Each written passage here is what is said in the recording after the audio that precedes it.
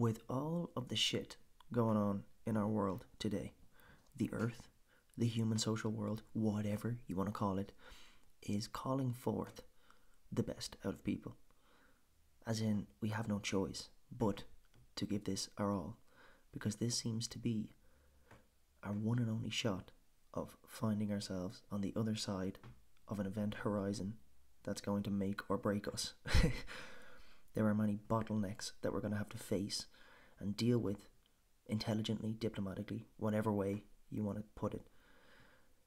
And unless we can step up to that challenge, first, see it for what it is, and second, step up to that challenge and properly orient ourselves in the world, I don't see us getting past that event horizon.